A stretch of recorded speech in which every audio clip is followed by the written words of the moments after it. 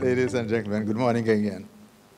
Uh, this paper is conceptual and is looking at situating TVET in another space, and perhaps we can take some lessons from this. Uh, it's not yet, it's not a published paper, so of course I can invite one or two colleagues to say, look, you know, that sounds good, let's try and put it in some kind of form that is sustainable. Uh, when you're retired, you tend not to pay attention to these things going forward. But anyway, the whole business of TVET and sustainable development is something that we cannot you know, not pay attention to. We have to look at how can we deliver TVET in a sustainable way. And um, this paper came out of that thought. So here we go. But uh, we want to look at um, the economic health of a nation and what TVET has to do with that. And I coined this from 1998, so it's coming from a long time, but nobody pays attention to it. Why there's a need for consensus? Why do we need to look at it? Um, what are the questions for this consensus? Um, we need to take a closer look at TVET to see what we need to do, and we of course need to focus on research, and I have an area that speaks with the, the way forward. Okay, the background of this is UNESCO defined TVET in 20, 2001. Um, I won't go through the definition now, but basically they're saying it's really preparation for work. And um, you'll find out later on that TVET really covers a broad spectrum. Uh, we also have some foundation principles for TVET. Uh, my CXC colleague spoke about six principles, but I have 14. As a matter of fact, I can expand that to 15. Um, I'll probably touch on that a little later, quickly. Um, the constantly changing society and of course the COVID-19 and what is happening to us as it relates to that, and declining of industrial and manufacturing activities and the lowering of GDP. Uh, so we have quite a lot of things happening. Um, TVET also equip individuals with means to satisfy what the society needs. People think that TVET is selfishly just to skill people. No, it's really to um, supply what society needs. So we have to look at that carefully to see what, how we're treating with this. TVET influences the quality of the workforce. We know this a long time ago. Um, we sometimes forget it, but this is a fact. It influences workforce. And of course, economic development mirrors investment in TVET. So the countries that have movement economically in a positive way, it's kind of congruent with the movements in terms of their economic growth if they spend time looking at their economy, it will, uh, it will, their economy will grow. TVET was provided to pro provide opportunities for just about everybody. Uh, students who have a tendency to be scientific based, look at science, hands-on sort of thing.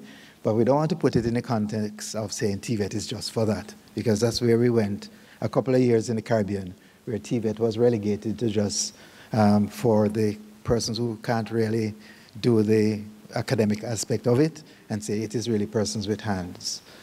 Now, 80% of all work are vocational related. That's 80%. This is not my word, this is coming from data.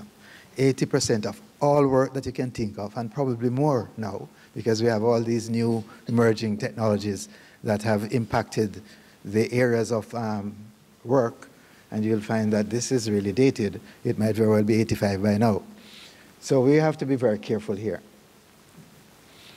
This is an interesting background comment. The 2019 Global Competitive Report ranks Jamaica 36 out of 141 countries for the quality of its vocational training and 93rd for digital skills within the country's activity, labor market and so on. Um, this shows that TVET needs to play a greater role in terms of how we move forward in this new digital age. So we have to look at how we reposition TVET to function in this space. As I mentioned before, I have 14 and I expanded it to 15 established TVET Foundation principles. I'm going to run through them quickly um, because it would be remiss of me not to mention them here. They're on another slide. And number one, TVET must be embraced by a philosophy.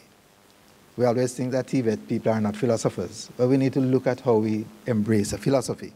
It must be approached with vision.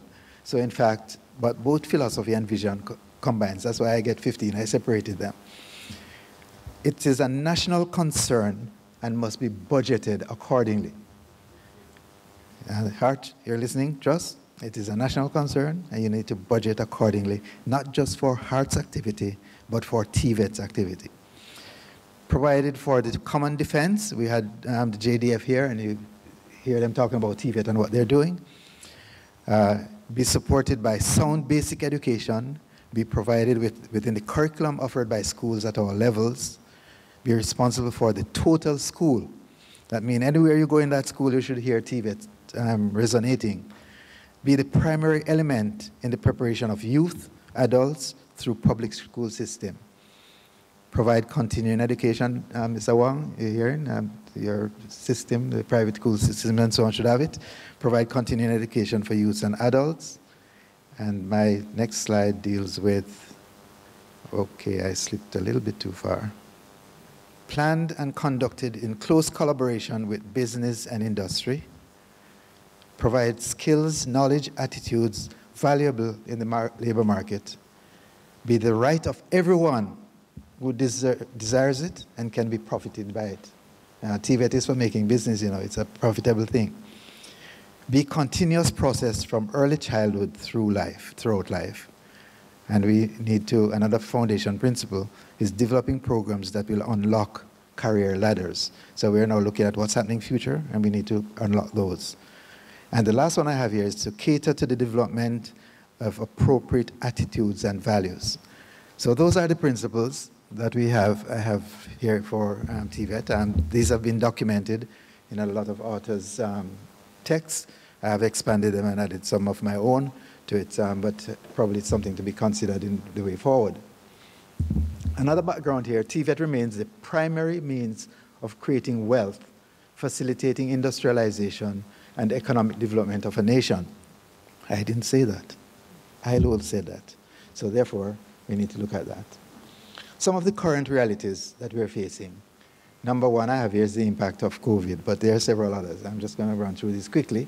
Um, decline in the rate of economic growth and development, high cost of living, increased inflation, decrease in GDP, uh, decrease in per capita, change in social dynamics. Um, this slide is showing you what is happening as it relates to some of the um, economic movement for Jamaica. Um, we have 2019, 2022, and we project to 2025. So we have our GDP at 15.4 um, in 2019, and it went down to 14.8 in 2022. We have our GDP growth of 1.3 in 2019, and it went to minus 1 in 2022. Our per capita, how much each of us earn, uh, $5,654 in 1999 sorry, 2019, sorry, and um, it went down to 5,407 in 2022. It's projected that it will go up to, say, uh, 6,000 or thereabout in 2023-25. Um, we have some other things here like fiscal balance, public debt, um, inflation, that is an important one. Um, the inflation rate, rate jumped from 4.6 in 2019 to 5.3 in 2022. So we have some stark realities here to work with, and we have to look at how we can um, navigate around those. The current realities continue. Um, change in workplace dynamics. And I don't have to tell you those. If I start telling you about all the IT interaction and so on, it will take me you know, some time, but I won't go to those. Change in skill set dynamics, what is happening, what people have to know to do, and so on. The shift in job sector expectations, uh, TVET for poverty alleviation. That is the reality now. We use TVET for poverty alleviation. Now, my theory and way forward is TVET is for wealth creation. So we need to change that narrative. So we got to fix that. Increased reliance on ICT, increase in crime and violence, and non-sustainable, other non-sustainable practices. So we have a whole host of things happening here that we have to look at. If we take a look at what's happening in the economy, the proportion of GDP by sector, um, this my friend draw the attention, Mr. Webster, that this is incorrect, but it's really correct. Um, where we have 58.2% services. He, he asserted that it should be 70, but I, I know where the other 12% came from because I have those um, listed as other. uh, the industry sector is 20%, and of course our agriculture is 8.4%. Now what you're seeing here is TVET. So if we are to look forward at TVET providing for our economy or for providing us going forward, we have to take a very careful look at TVET. And HEART Trust, it's not about HEART Trust business. This is about Jamaica business. We have to look at all the various sectors and how we can interact in those. And I say HEART Trust because HEART Trust is our responsible agent for TVET here in Jamaica.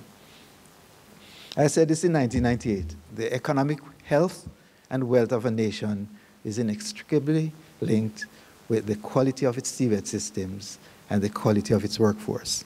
So there's a symbol, there's a link between these two um, facets. And um, this is the case now. I don't think many people were listening in 1998 because we have other things attending to. But it is becoming more important that we take a look at um, how we move ahead in a healthy uh, way and, of course, um, wealthy way as well. Now, this is supposed to be a conversation. Um, we're not going to achieve that because of the time and what have you. But I have here that we have a number of things that we need to have in this um, conversation. I have a number of questions here for the conversation. And what are they? The first one, what are the key factors that contribute to the decline in the economic and social systems? And I think this goes across the Caribbean. It's not just for us here in Jamaica. What are the new imperatives? Is the national TVET system aligned with the realities in our domain? And um, there are lots of questions around it. When we start to talk about some of those highfalutin technologies that we can't use now, that might be for future proofing, as CXC said, but we, will get to that later on. Is TVET for poverty alleviation or wealth creation? That's a question we need to ask. What changes or adjustments should be made to our teacher instructor preparation to make them more efficient? What measures can be taken by TVET to mitigate against the challenges that the country now faces? What steps should be taken to engage industry commerce or commerce in TVET? Um, they are still on the periphery from my view. Um, if you look at this room, I don't think we have many industrial people here. A TVET conference like this, half of the room should be industry players. They're not here. So we need to fix that. What can we do to future-proof um, TVET? Um, looking at going forward, how can we make this a reality going forward without making a lot of missteps? On what should we um, dedicate TVET funds? And what should we spend it on? Um, the conversation for this is a little broad. Um, we can't take it in terms of an organization decide how the funds spend. It's a broader context. So probably there's a bigger picture where the government need to say our TVET funds should be spent on A, leadership, two, um, de developing basic skills, three, skills sets and so on, and you know, industry involvement and creating um, industries or new industries coming out of education. So there are lots of them that probably need to be looked at. There are some other questions that we need to ask. This, I call this set B questions. questions among whom should the consensus be sought? Who should be making, getting consensus about? We still don't know that, you know, we all think that UWI shouldn't be among this um, discussion because they are in academic, you know, uh, I can give you all the history of that and how um, we're, we have navigated against those. On what matters should we have a consensus? What processes should we employ to arrive at a consensus? How should the consensus be documented? How should this be communicated? And the last one here, how should the consensus be implemented? Now, these are hard questions and we're not going to try to answer them here, but we need to bear them in mind as we as a community need to go forward. We have to look at how we're going to deal with this consensus. But what do we know about TVET and its impact on economic health of a nation? Very little. The only time we start thinking about TVET in reality is when we see the current situation where we have to import labor. Uh, we can't put, build a good road. Uh, we don't have a good water pipe system. We have problem if we don't call some consultancy from somewhere, the water pipe go haywire. Um, the electric system go haywire if we don't, and this is where we start to have problems. So we need to look at what do we know about TVET and how can we use it more effectively. So we need to take a closer look at our TVET system and try to put measures in place to ensure that this is effective. Now, there are a number of things that we need to do, and I'm just listing these here as just my view. Um, number one is solid, solidify, this is one set, solidify the base of TVET. So we need to take a look at the TVET in our domain and what it produces and so on. So we need to take a new look at it. We have to go back to the drawing board and start to have some discussion and to see what we're going to do. Establish a workable shared philosophy for TVET. Not everybody going to have the same philosophy, but we have some kind of common understanding and um, come up some shared philosophy so we don't run into miscarriages. You know, we start doing a project and then we abort it. Um, you know, I've seen so many things happening politically that we need to be on the same page. So whenever some good things are happening, they shouldn't be aborted. We should continue develop them more and put more resources in them agree on some of the principles to guide TVET. I listed 14, but we probably need to agree on those. Expand the research agenda for TVET. We need to provide funding to support the development of leadership for TVET. And this is not, I can say that without any hesitation, it's not currently being done. We're looking mainly at skills development or we can get the numbers going, the numbers game. And we have to get out of that numbers game and start to look at how we provide leadership so that when I step from this stage, there will be others to um, take it forward and do whatever needs to be done. We need to apply UNESCO's Green TVET agenda. That if we don't do that, we're going to be non-aligned as it relates to greening in TVET. So that needs to be done. Now, the next set I have here is to apply creativity and resourcefulness. We need to uncover creative ways to de deliver TVET. Pan pandemic here has taught us a lot of things.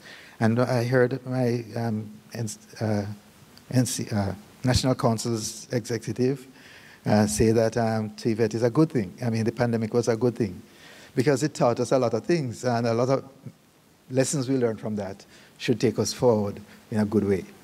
We need to develop new strategies, partnerships, and so on. We need to expand networks. We need to align training with production of goods and services because um, if we spend too much time doing training in areas where the training cannot be absorbed. We are really providing people for other domain. So we need to look at how we align those. Identify and implement creative, sustainable funding mechanisms for TVET. Jamaica has one. We have the um, HEART Trust Act, and that provide funding. But I think there's some misnomer as to where that funding should go and how it should be spent. Um, you know, I'm retired, so I can't say anything now. The funding, in my view, should be spent on TVET and developing the education system in that regard. So we probably can have a bigger discussion on that. Um, the next set of questions here is that we need to expand reach and engage. Um, provide new opportunities for education and training system, looking from TVET from the kindergarten level through to the uh, tertiary level. Promote and implement TVET and a well-trained workforce. We need to promote it. We need to show exemplars, what's happening, and so on promote diversification. We need to do more of that. Uh, we see some ladies driving buses and so on out there, but we need to more of that. We need to have some of the men going into the culinary trade, more of that. So we need to have that diversification. Broaden scope of TVET at primary, I said that already, and implement TVET with appropriate facilities at all levels. Um, this is where we fail quite a bit because we say it's too expensive, we can't put it there, so let's put the people under the tree instead. Under the tree concept won't work. The last one I have here, as I said, is assure quality. We need to realign our national TVET system and mechanisms to the realities of our domain. That's number one, quality. It's the utility of the TVET that makes the quality of it. Now, we, we need redesign program geared at preparing TVET teachers, trainers using current realities. We are still preparing people using the two decades ago realities. So we need to fix that. We need to quality assure TVET system to meet international standards. Um, when our friends come from USA or Canada or um, South Africa, wherever they come from, and they see a TVET system, it should be aligned. There should be no mismatch. And I have a controversial one here. Keep IR4 and IR5 in our minds, but not be constrained by their requirements. And why I say that is because if we keep IR4 as the priority, we're going to be running into problems because our infrastructure in our domain is not retrofitted to deal with some of those realities. I'm not saying you must abandon them, but don't think you're going to drive a driverless car in Jamaica and be happy, because that um, computer might not want, might, might figure that it's not going to navigate around some of these drivers and so on. But anyway, let's leave that for another discussion. Apply measures to future-proof TVET.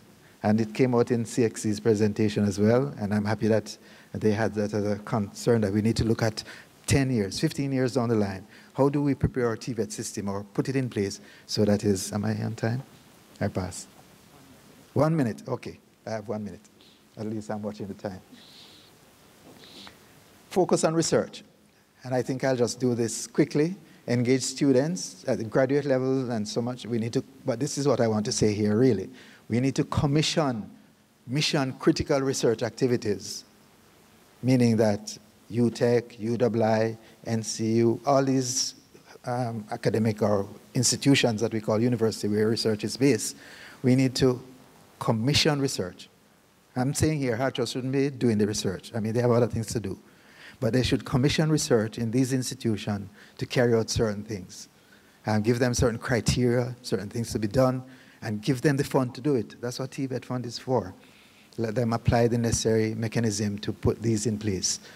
Um, promote research um, as an area of concern.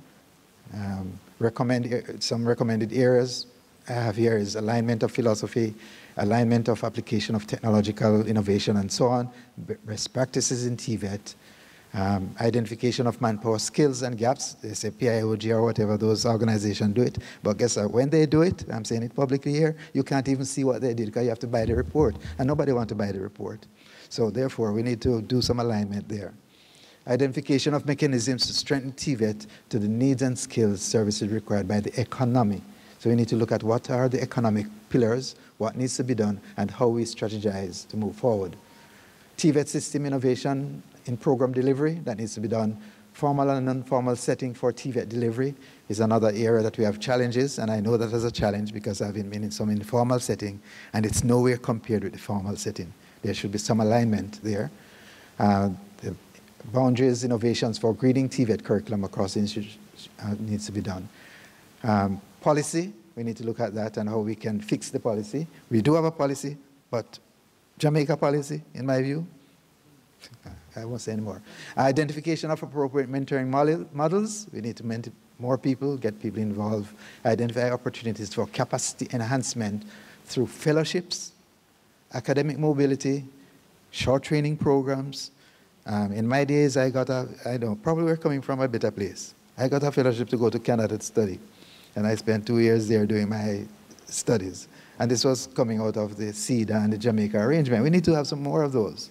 Um, we need to send more people to get um, acclimatized to some of the realities of TVET and have them come back here and do other things. Um, I probably was a little bit um, craven, if you want to use a Jamaican term. I got another one and I went to the United States and I did some studies there and do whatever needed to be done. I mean, I, I, had some commitment because these institutions want to employ me once I finish my program. They want to say, look, you want to stay. But anyway, I, I'm still here. Now, the last slide here is dealing with the way forward. And basically, I have here, you've heard it all, we need to get on board. I won't say much more here. TVET facilitates access to the world's economy. And if you are not taking this as a serious point, um, you're going to be in trouble. TVET is what gets you on the world economy as a nation, as a people, and we need to fix that. Um, we should not be relegated to the low income job situation where some countries want some quick learning um, people to come and pick apples or do something like that. We need to look beyond that we need to look at TVET for wealth creation rather than for poverty alleviation. So basically, that's my message to you. I have some uh, references here. It's not all my word, and um, you know you can take a look at those later on. And I have listed when you get this slide, you'll get these in there. I had to put down on that slide because it's way at the end, but these are the TVET principles that I am promoting as the way forward. Thank you.